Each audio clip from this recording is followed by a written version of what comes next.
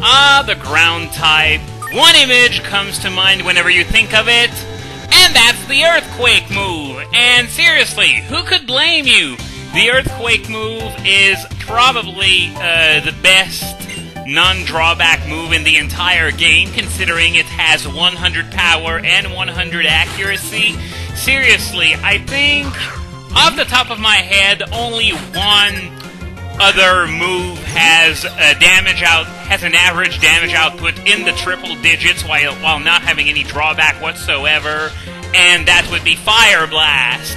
And you know, it's something that I thought of after uh, talking with one of you about it. I don't remember who it was. It was a few weeks ago, though. And it's that Generation 1 had really powerful offensive moves when you stop and think about it. You got the Club of Surf, Flamethrower, Ice Beam, Thunderbolt with 95 power, 100 accuracy, and aside from Surf, a uh, 10% chance of, a, of status. You don't see that often anymore because usually when new moves are being introduced and they don't have any drawbacks, the usual bracket for the usable ones is going to be between 70 and 90. 90 at best. 95, I don't think we've seen that since um, Generation 1. In fact, um, Megahorn! I'm an idiot. Megahorn also has a, a damage output of uh, over 100 without having any drawbacks. And I'm sure some of you in the comments are going to tell me, oh, you forgot about this move and that move. And yeah, there's Earthquake, Fire Blast, Megahorn, and uh, probably a few other ones. Um, you, you know what? If you think of any, I don't want to know. I can look it up myself. But the point is that there aren't very, very many moves ever since Generation 2 that are this powerful. Um, even if you take a look at what Generation 5 introduced, Generation 5 didn't introduce a whole lot of um, moves that were useful in a competitive context. Other than the legendary signature moves, there really isn't a whole lot to feast on. There are a few exceptions, though, but for the most part, um, on, on, the move scene, it's fairly similar to uh, what it was in Generation 4. So, yeah, it seems like uh, the, the, our moves are getting weaker and weaker as time goes on, actually. Though, to be fair, Generations 2 and 3 did introduce quite a few moves that filled interesting niches that weren't filled up to that point, such as I've already mentioned Megahorn. I guess like I could also have like Signal Beam, uh, Blaze Kick, and um, other moves like that. Generations 2 and 3 had uh, quite a few of them. Generation 4 created a lot of new interesting moves because of the physical special split, and some types were left without a good move in either the physical or special spectrum. So, um, yeah, Generation 5 didn't have much of an excuse. Pretty much all the niche you can think of are filled, and there was one that was sort of lacking uh, before Generation 5, and if you ask me, it's still sort of lacking now. Physical Electric. Now, uh, a lot of people uh, of Pokemon rather learn Thunder Punch, but uh, that but that means you need to have hands to learn it. Otherwise, you're stuck with Spark. Such as, take for example, Luxray, whose best move was freaking Spark. So they introduced Wild Charge, which was a move with 90 power, 100 accuracy, and 25% recoil damage for a 90 power move! Seriously, I'll be honest, Wild Charge should not have recoil. Even if it did, even if it didn't have recoil, it would be a pretty good move, but it would be my by no means overpowered. So yeah, if you're a physical-based electric type, unless your name is Pikachu or Raichu, in which case you have Volt Tackle, then you're pretty much screwed. This is the big complaint with, with uh, the likes of Electivire. Not enough power on the big moves to uh, use that attack stat properly. That and uh, the middling speed, but uh, the low power of the moves doesn't help either. So, yeah, I don't really know what my point was, except for maybe, you know, how uh, many of the best draw uh, non-drawback moves were from Generation 1, such as the aforementioned, you know, the 95 Power Club. I guess you could also sort of include uh, Fire Blast and uh, Generation 1 Blizzard in there as well. I guess I should acknowledge that because that was one of the most broken moves in the history of Pokemon. Remember when Blizzard had 90 accuracy? Yeah! Those were good times. We're not having such good times anymore, do we? Now it has 70 accuracy just like Thunder, so it needs weather to function. And unfortunately, said weather is a lot less functional than rain for Thunder. So yeah, it got robbed there.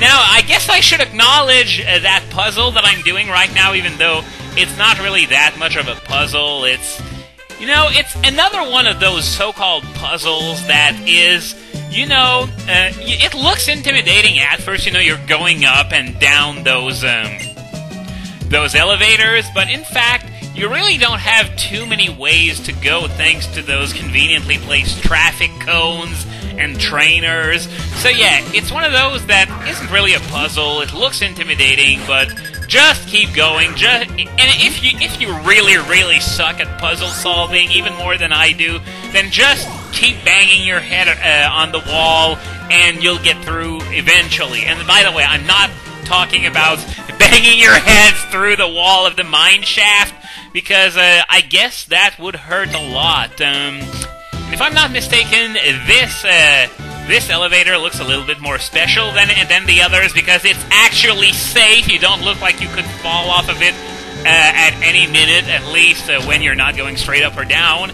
So yeah, this one leads straight to Clay, and um, yeah, actually looks fairly impressive, especially for a DS game. I like the looks of this place.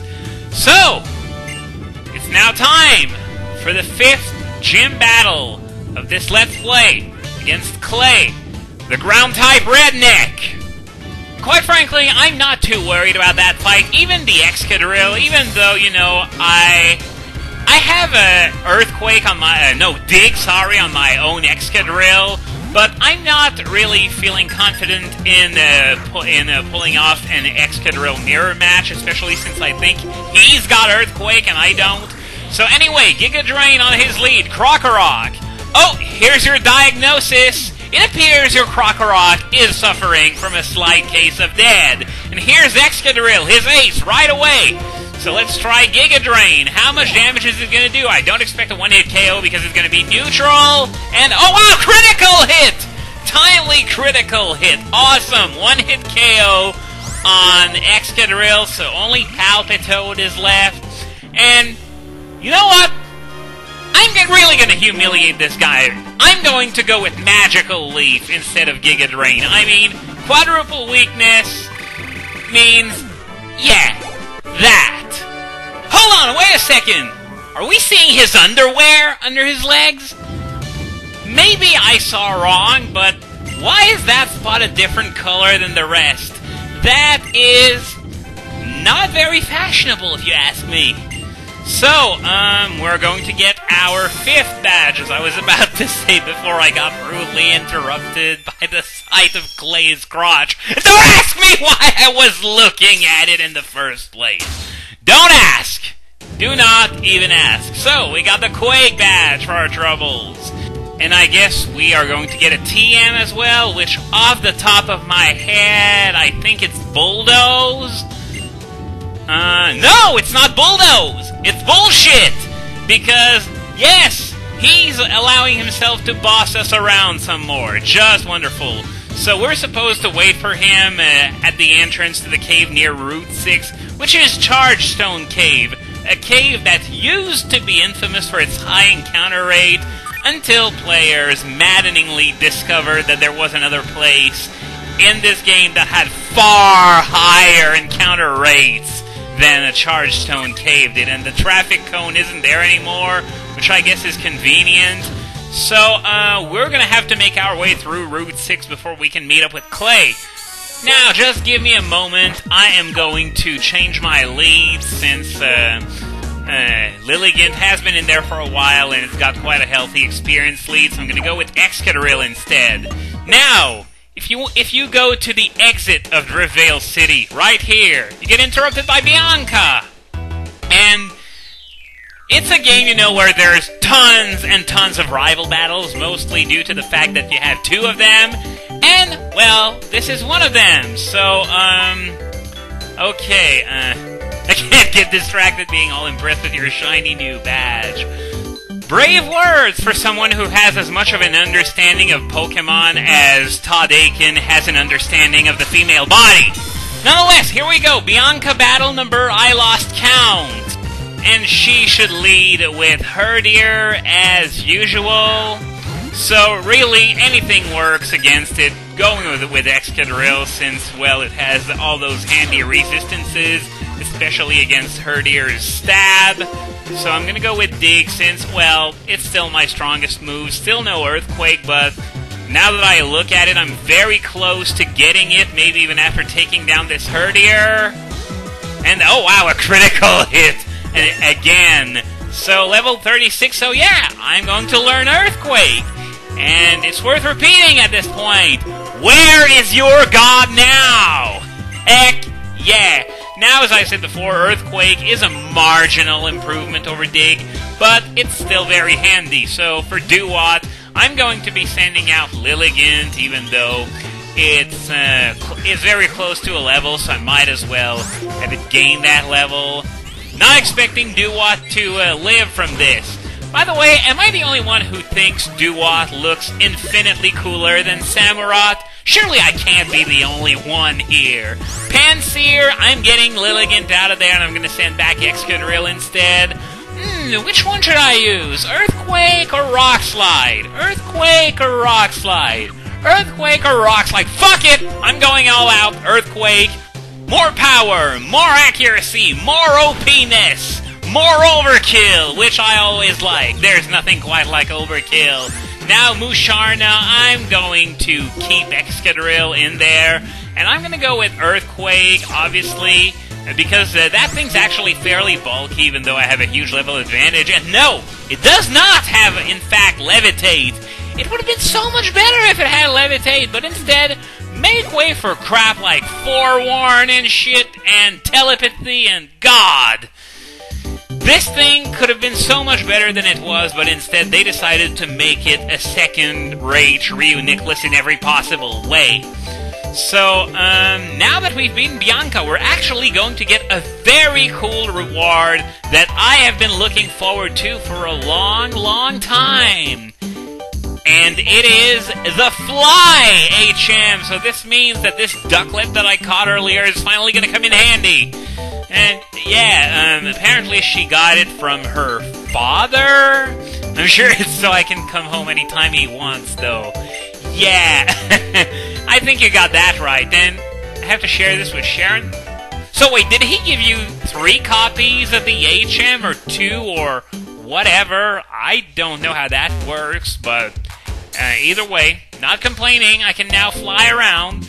So what I'm going to do now, I'm going to take out um, that uh, Ducklett from earlier, and I'm going to put it in my in my party, teach it fly, and after that, I'm going to head back to uh, Nuvema Town, as I've said before, because uh, Professor Juniper is going to hand you a bunch of TMs, depending on how many Pokemon you've seen in your Pokedex.